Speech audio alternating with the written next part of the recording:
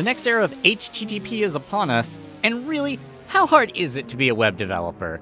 I'm Rob Dodson, this is Lazy Web.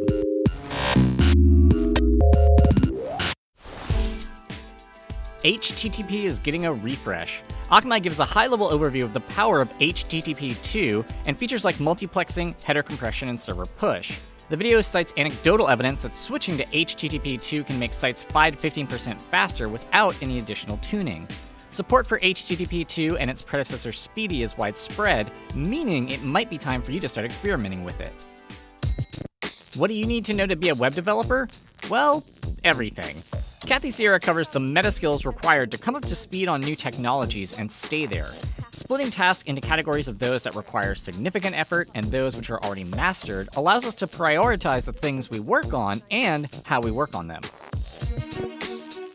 Stay on top of changes in Safari with the new WebKit status page. Located on webkit.org, the page lets you search for features and track implementation progress. Combined with chromeStatus.com and status.modern.ie, the new site is one more tool to help developers build great cross browser experiences. Finding consensus on Shadow DOM. This past week, engineers from the major browser makers got together to hash out the contentious bits of the Shadow DOM spec. Positive tweets indicate significant progress was made, and this summary doc shows the resolutions. You can also view a transcript of the event on the W3C website. How does like JavaScript? Have you ever wondered how your code actually works?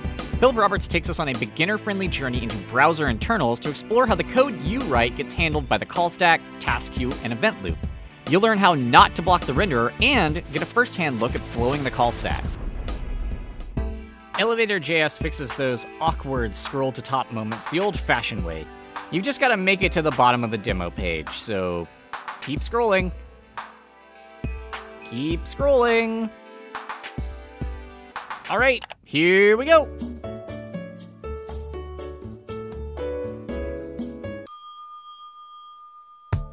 That's it for this week, folks. Take a deep breath, enjoy the visuals, and to all you lazy webbers out there, thanks for watching.